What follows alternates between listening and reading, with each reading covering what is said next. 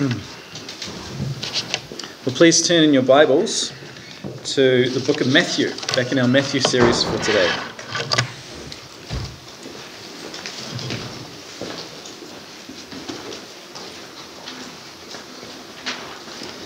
So, hopefully, uh, you remember our, the last time we were in Matthew. Today, we're actually looking at uh, anger. Interestingly enough, when was the last time that you were really angry with someone, or the last time you you said under your breath like a uh, you know an evil word about someone? Oh, you fool! You idiot! You stupid guy! When was the last time you did that? I wonder. Well, in our passage today, Jesus is going to be speaking about anger. You know, it's funny. Our culture has a, a, a vision of like what a Christian is like, and often uh, the, the idea is that someone who doesn't get angry no matter what happens. Like if you watch like The Simpsons or something, there's that guy called Ned Flanders. I don't know if you guys know about him. He's, uh, he's like the, the next door Christian who's like ever long suffering and never gets angry at anyone because uh, Christians don't get angry, right? well, Jesus in this passage is going to be talking about anger. He's actually going to teach us how to read the Old Testament and uh, the reason being is because the Pharisees, when they read through the Old Testament, they used to, you know, they'd come across these commands like don't murder. And they would totally miss what the command was talking about. They'd miss the heart of the commandment. So Jesus, in this passage, is going to correct them. And as he does that, we're going to learn a valuable lesson ourselves in the process too. So let's look at our text today from Matthew. You have heard that it was said to those of old, You shall not murder and whoever murders will be liable to judgment. But I say to you that everyone who is angry with his brother will be liable to judgment. Whoever insults his brother will be liable to the council. And whoever says, You fool, will be liable to the hell of fire. So, if you're offering your gift at the altar and there remember that your brother has something against you, leave your gift there before the altar and go. First, be reconciled to your brother and then come and offer your gift. Come to terms quickly with your accuser while you're going with him to court, lest your accuser hand you over to the judge, and the judge to the guard, and you be put in prison. Truly I say to you, you will never get out until you've paid the last penny. This is the word of the Lord. He said, Everyone who is angry with his brother will be liable to judgment. Now, hopefully everyone remembers last time we were in Matthew, we got up to verse 20, right? We read 17 to 20. We were looking at what it means to surpass the righteousness of the Pharisees in order to get into the kingdom of heaven. We talked about how if you want to get into heaven, you have, you have to have a better righteousness than what the Pharisees had, like the, the high level, you know, uh, religious leaders. You've got to surpass them. We talked about how the only way to get to heaven is through the righteousness of Christ alone. Because we've all broken God's law, we're all sinners before Him. But Jesus never sinned. He is holy and He took upon Himself our sin, our curse, and He bore it in His own body and died on the cross. He defeated death and He rose again. And then what He did was He took His righteousness and placed it on you. His good works, his good deeds were placed on your account. And so we become righteous through, through faith alone in Christ. And this is the that's the great exchange, right? Our sin goes to Christ, his righteousness comes on us. And so through faith alone, a gift of God, not a works, we become saved. That is how to surpass the righteousness of the Pharisees. And what this will lead to is that we will understand the law properly better than what the, uh, the Pharisees understood. Because they weren't actually correct. They were very careful in their scholarship. They, uh, they did all their memorization. They, they could recite the law to you, but they weren't actually correct in their understanding of the law. They had an outward appearance of righteousness. If you look at them, you'd be like, oh, yeah, he's working hard to keep the law. You know, there's one of the laws says you're meant to have, like, God said to inscribe the, the, the law of God on the sides of your um, what are these parts called? Not earlobes. They're called phylacteries. I can remember that. I can't remember what this part's called. The phylacteries are the, the hanging. You know, you've seen it before, right? The Jews would, would have these, uh, these scrolls of the law written uh, next, to their, next to the side of the head to hang down. So they have this outward, external presence of like, oh, holiness, oh, righteousness. And yet inside, they were dirty. Jesus calls them out for that. They were honoring God with their lips, but their hearts were far from Him. Now, God actually wants true righteousness to shine forth from us because we as Christians are under the law of Christ. And the law of Christ begins with loving the Lord our God with all our heart, mind, soul, and strength, and loving our neighbor as ourselves. And in this section here, Jesus is going to correct the Pharisees' misunderstanding. In fact, there's six, six misunderstandings that he's going to go through. This is the first one we'll do today. He, uh, he goes through six antitheses, we call them. So he, he tells the people, like, you've heard it said, but I say to you. You've heard, them, you've heard this before, but I'm telling you this. That's the antitheses that he's going to use to uh, correct them. Now, it was very unusual for people to hear this. In fact, probably no one who was listening to Jesus' sermon had ever heard a rabbi say, Hey, you know, you've heard this before, but listen to me. listen to what I tell you. Probably no one had ever heard that before. Normally, when a rabbi would get up to speak, he would ground his assertions in the teachings of other rabbis. So they might say something like, A hundred years ago, Rabbi Shofar said this, so therefore I'm saying this. That was how they taught the people.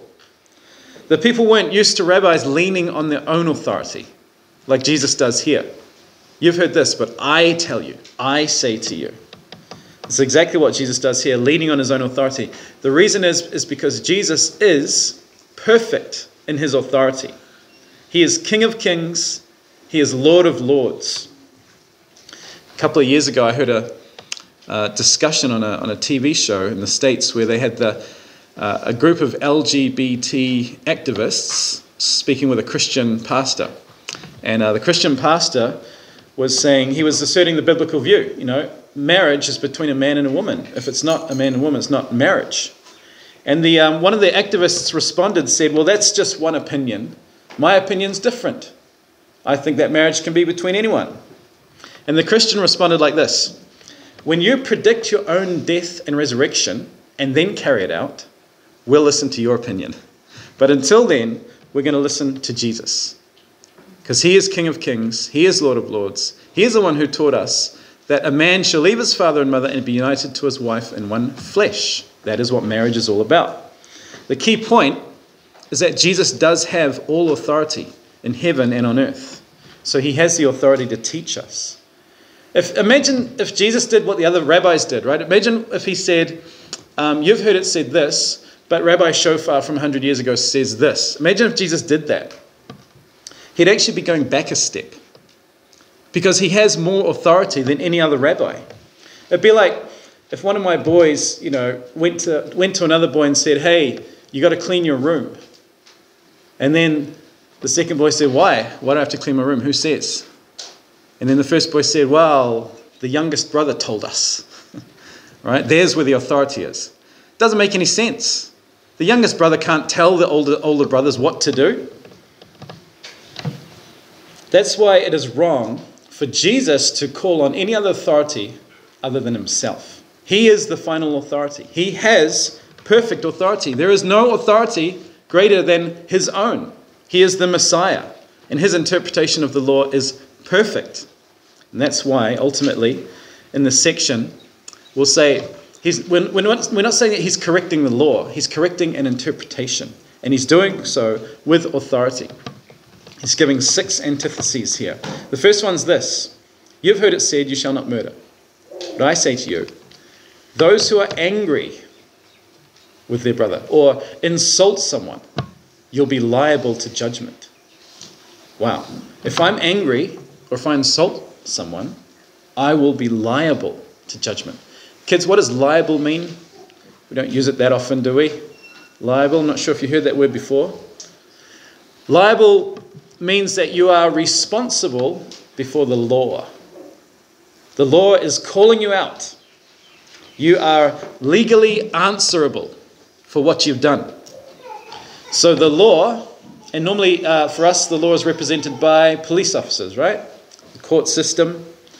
The law is calling you to account for your crimes, and you must face the punishment. You must, be, you must answer. You are liable.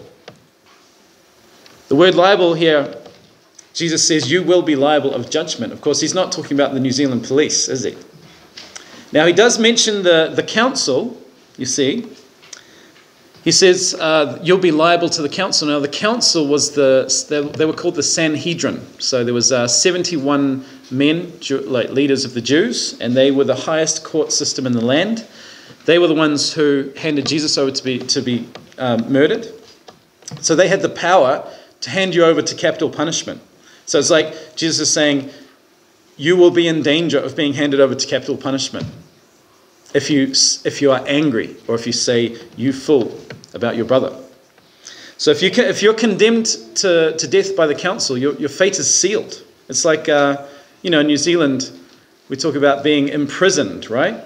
Like the people, for people hearing Jesus, they understood their system of justice. And the New Zealand court system would be like, you know, if you break a law, we, we call that a crime, right? You've committed a crime. And if you commit a crime, you can go before the judge and you can be judged as guilty of your crime, and then you can receive a sentence, which means that you need to be put in prison, right? We use, uh, in New Zealand, we use prison, home detention sometimes, fines. You can be given a fine, we have to pay the money, or maybe even community service. You're told to work for free. So there's various, various punishments for various crimes. The, our justice system here in New Zealand you could say that it's somewhat modeled off God's justice system, but it's not nearly as just, it's not nearly as righteous as what God has prescribed. And actually, we recognize the weakness uh, when we see people here in New Zealand commit serious crimes. What year was it that guy in Christchurch went through the mosques shooting a whole bunch of people? 2019, was it? And then what was his, uh, his sentence? Was it 20 years? life, life called, called life. Well, imagine, I mean, when we see someone commit a really serious crime, you know, like just imagine someone, you know, like rape and murder, put in prison. When that person is only, you know, is let out of prison again only after a few years, it actually, something happens in our hearts, right? We're like, man, that's not right. That person should continue to pay for his sin, for his crime. That person should continue to be punished. If someone's let out early, it's like kind of seems to denigrate the value of the people that were killed. There's that other example in Norway, right? That guy who went on the island and shot a bunch of kids um, a while ago. He was given 20 years uh, in a very lax prison system. And so if he's, uh, if he's let go in another, I think it was 10 years ago probably, so another decade, if he's let go, we're going to feel in our hearts, this is wrong. Like he killed so many people that we're, we're reducing the value of the life that was taken when we say, you're okay to go now, he's what, like 50 years old now and goes off to live his life. The dead people are unable to enjoy their lives on earth because of the decisions he made. So we got this, we got this system in New Zealand and other countries where something's lacking. There's something wrong with our justice system. And what it's lacking is perfect justice. And we know it in our hearts, we feel it. Unless we're strong enough in our, in our suppression of the knowledge of God, our hearts are actually uncomfortable when we hear of people being released from prison for early for good behavior. It's because the punishment doesn't seem to fit the crime. But God's justice system is a perfect justice system. It's the one that our hearts are crying out for. He prescribes the death penalty for murder. He, he prescribes a place of fire we see there in our, in our text, place of hell, fire for all who sin against him. We hear about this place called hell in uh, Revelation 21. As for the cowardly, the faithless, the detestable, as for murderers, there they are, murderers, the sexually immoral, that's got a bigger group now, hasn't it? Sorcerers, idolaters, and all liars. Uh oh. Their portion will be in the lake that burns with fire and sulfur, which is the second death. This is the word of God, and it is true. Hell is an unending torment, a place of burning day and night, forever and ever. And look at this list of people who will go there. Does anyone see themselves in that list? It's extremely terrifying to think about that, to think that I will be held liable, I will be judged. One day, everyone is going to stand before the judge of all the earth and face him, and we must give an account for what we've done and what we've said. And we should be scared. You know, it's a little bit like when uh, children, children should be afraid of being physically punished by their parents. It's actually without that fear of physical punishment, they kind of miss the opportunity to be happy and thrive with their parents in a relationship that's characterized by obedience. That's why actually the Bible tells us to physically discipline our children. It's another thing that our culture's got wrong, haven't we? This is an idea where we as parents really need to recognize God's authority. It's greater than the state, it outweighs the state authority. You know, God didn't set the government, government up to tell you or to prevent you from disciplining your children. He set the government up. The role of the government is to punish evildoers and to help us live a godly life. That is what the government is for. That's a side note to the sermon, a free side note there. But children should fear the possibility of physical consequences when they disobey their parents because it helps them to learn about God's system of justice. We should fear that there are physical consequences to our sin.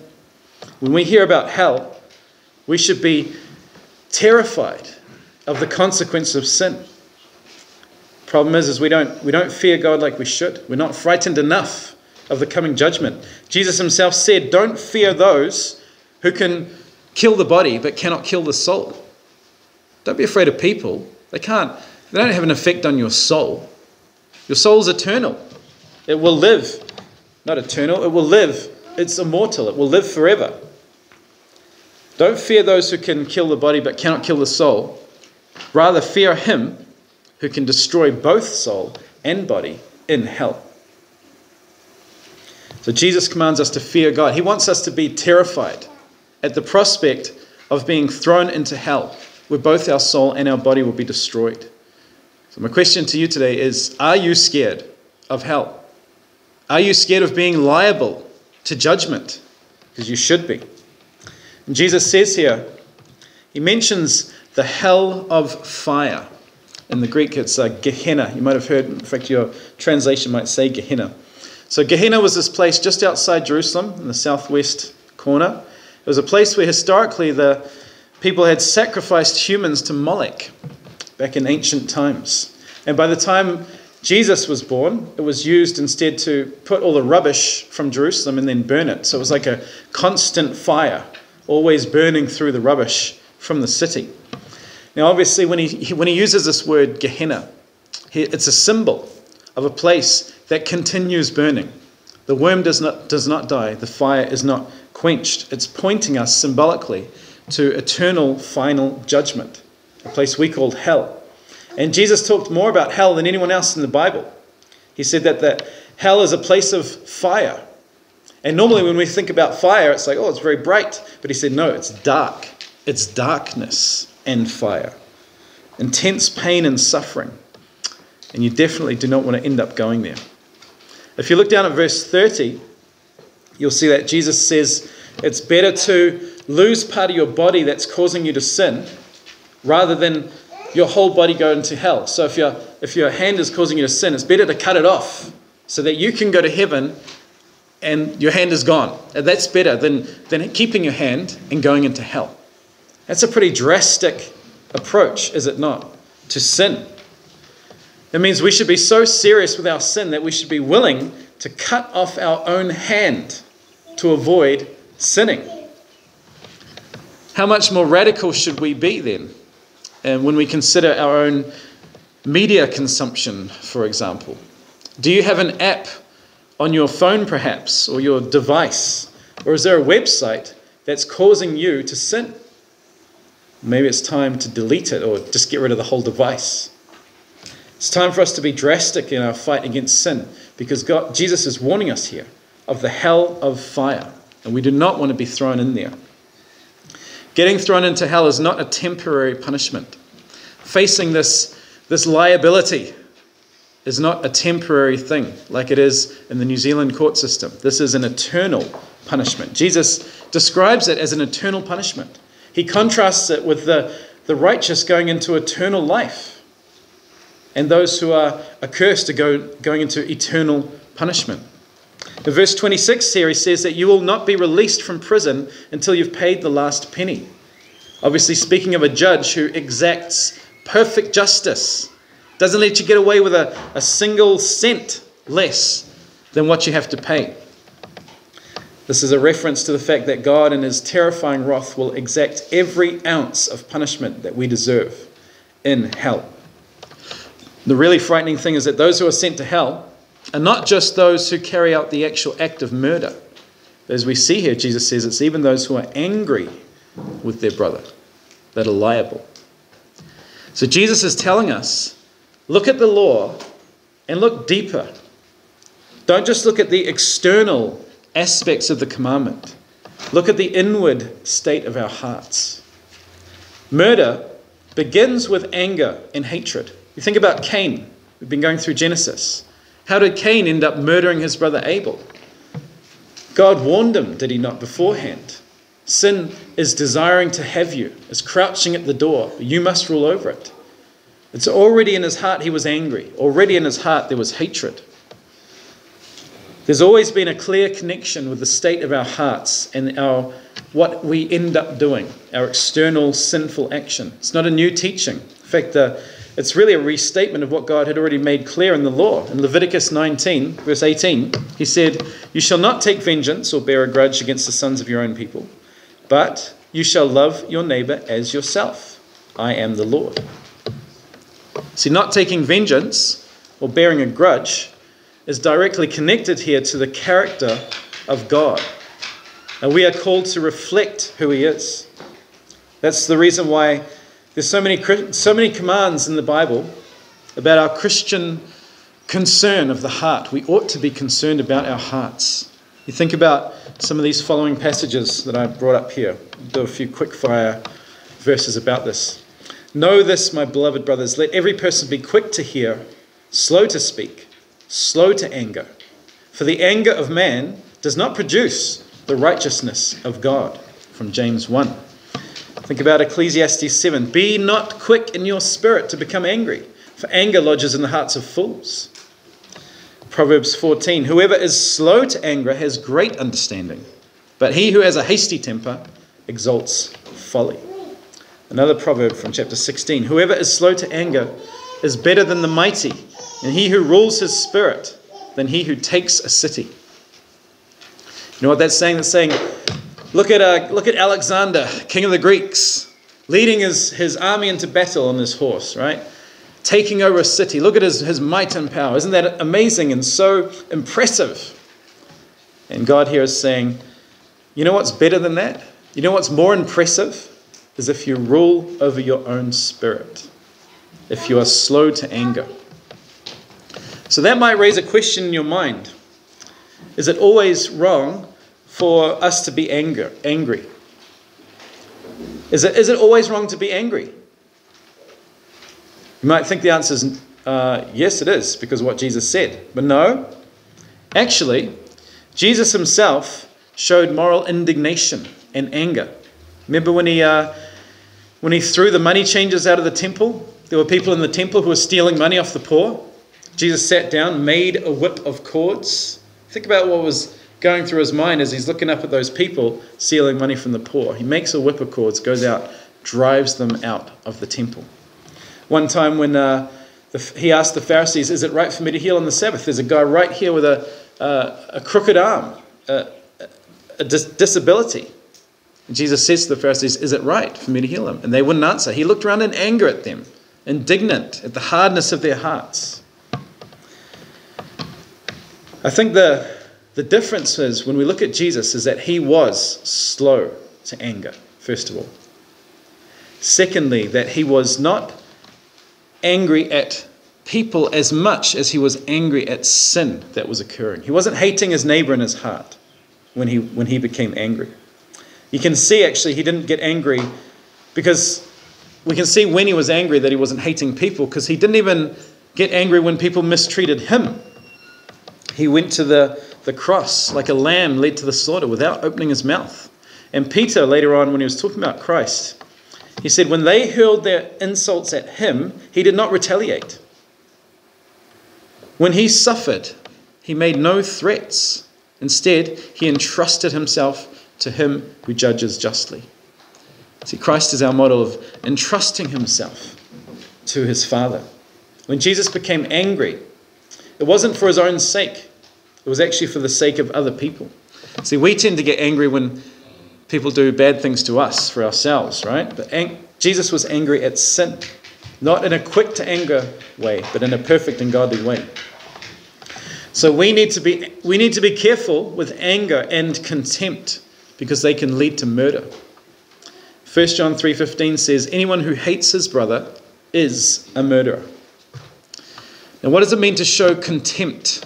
Kids, I wonder if you've heard that word before. Contempt. I'm showing this person contempt. That means when you're, you're thinking about someone in your, in your heart and your mind, you're thinking about that person and you're thinking, this person is worthless. This person is just a waste. There's plenty of contempt flying around in our day and age as well. I wonder what your feeling is when you go to the restaurant, you go to pick up some food, and you see a beggar on the street. What is your feeling towards that person? How do you feel about the multitudes of old people in our country who are approaching death and yet don't have family to look after them? What is the state of your heart when you consider your unborn neighbor? Is she worthless to you? I think what we say about those who we hold in contempt, it really reveals a lot about our hearts. Do you stand up for the rights of the voiceless? Or do you show them contempt by not speaking out for them? Jesus said that out of the abundance of his heart, the mouth speaks. So, the way that people in that day and age could show the most contempt for someone was here. He said by using the word raka. I wonder if your translation says fool or raka. Jesus says, don't use this word. Calling someone a name like that was very, very serious, especially in, in the ancient times when, you know, your name and your reputation and who you are was attached very much to how people saw you. It was, they lived in a, a shame based culture. We live in more of a guilt based culture. But Jesus said, You shall not call your brother Raka. Now, uh, it's sometimes it's been unfortunate, like in the ESV here, they've translated it as full, which is not incorrect, but the, the word for full is different. There's another word that's used all over the Bible. This, this word's used once, raka. There's lot, another word that's used for full, which is everywhere.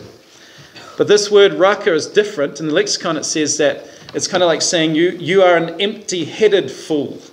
So it's really referring to the intellectual capability of the person. You're, you're expressing contempt for somebody's mind. You know, nowadays we might say something like, you stupid idiot, you dummy, you moron, something like that. But it is important to recognize this, this word only occurs once. It's not the word used for fool. It's not the word that Jesus uses when he calls the Pharisees blind fools. He uses that in uh, Matthew 23 17. He denounced the Pharisees because of their, their legalism and their attacks on the people of God. He called them blind fools. Different word, not this word, raka. So, the other places we see the word show up, like when Jesus used it, it seems to be more about moral kind of foolishness rather than intellectual. Paul did the same thing in Galatians. Remember in Galatians 3? He said, You foolish Galatians, who has bewitched you? And we know that Paul didn't have contempt for the Galatians in his heart because immediately he goes on to call them brothers, beloved brothers. And then he calls them my children, beloved children. And he says, I, I'm confident that you will believe the right thing, that you'll, you'll go the right way. So we really need to make a distinction in our, in our minds between this word, raka, and the common word we see in the Bible of fool, foolishness. So here in Matthew, used once in the Bible, we might, we might think of it as empty headed fool. So we are not to have that kind of contempt for people. And then Jesus says, before before you go to the altar of God to offer a sacrifice to Him, you need to sort out this issue with your brother. So he, he's explaining that our priority should be to deal with the offense and to seek reconciliation. This is how we as Christians should approach situations where we have been, where people have taken offense because of us. And it's interesting that here it's connected to the thought in the context, seemingly saying, don't let other people have something against you and be angry at you because they might have murderous thoughts come up in their hearts. Don't let people think in their hearts Raca about you. Don't let people disconnect. Do what you can to connect with them and reach out and love our brother. Act to prevent murderous feelings towards yourself. Don't put yourself in a situation where someone might be tempted to say about you, Raca. Now that's easier said than done, isn't it? Because it takes two to tango. Not everyone's going to be willing to interact with you when they are offended. In fact, Paul says in Romans, if it is possible, as far as depends on you, live at peace with everyone. So certainly there's the conceit we concede that it may be impossible if someone refuses your plea for peace. But we must try. Believers must try to make peace. Jesus goes on here, he says, he mentions that you might have the accusations heard before a judge and the possibility of being put in prison. He tells us to avoid this. In fact, it's very similar advice to what Paul gave in 1 Corinthians 6 when he, he talked about one of us having, a, one of you has a grievance against another. Do you dare, does he dare go to the law before the unrighteous instead of the saints? Do you not know that the saints will judge the world? And if the world is to be judged by you, are you not are you incompetent to try trivial cases? Do you not know that we are to judge angels? You see, having lawsuits amongst believers and taking them in front of secular courts is wrong. We shouldn't end up before the judge, being judged. We should avoid having church issues go before unbelievers. It's important for many reasons, not the least of which is that the secular rulers have the power to put you in prison over a debt, something that the Sanhedrin wouldn't even do, the Jewish council. But there's another reason it's because you will be, you will be required to pay to the very last cent. And that reminds us of God's perfect justice. He is the perfect judge, and He will make sure that we are all held to account for our words and our works. And there's one more aspect to this question that it's important for us to consider. As Christians, we shouldn't get angry with our brother. We shouldn't seek vengeance when we're wronged. Why not? Why shouldn't we do that? And that's because God will have the ultimate vengeance. He will repay. He is the avenger of blood. It's like our communal reading today and yesterday, looking at um, looking into uh, Exodus when the when the Israelites were escaping from Egypt, and Moses told them, "Don't be afraid. God will fight for you. God is the one Here's the one. He says, Beloved, never avenge yourselves, but leave it to the wrath of God. For it is written, Vengeance is mine, I will repay, says the Lord. And so we can entrust our souls to a faithful Creator, just like Jesus did. Just like Jesus entrusted himself to him who judges righteously and didn't respond when he was being accused and attacked. So we respond by submitting to God and therefore, we are going to be patient, not angry, patient, kind, and forgiving one another. God tells us in Ephesians let all bitterness and wrath and anger and clamor and slander be put away from you, along with all malice. Be kind to one another, tender hearted, forgiving one another as God in Christ forgave you. So, this is key. We all deserve the wrath of God. We all deserve we are all deserving and liable to the hell of fire because of our sin.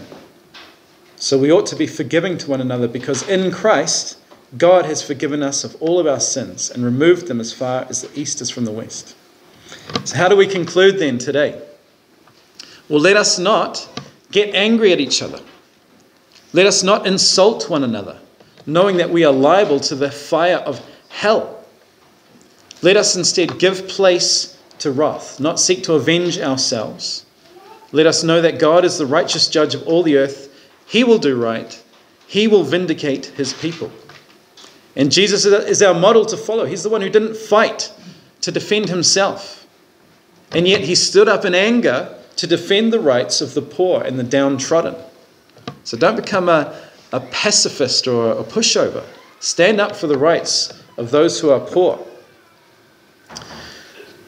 It's a reminder for us that we shouldn't get overly angry at people and condemn them in our minds. We should remember that we have been forgiven great sins. And that fact alone should stir us to be forgiving to one another and those who wrong us. So let us be like Christ in our lives, and may God bring a blessing upon the meditation of His word today. Let's pray together.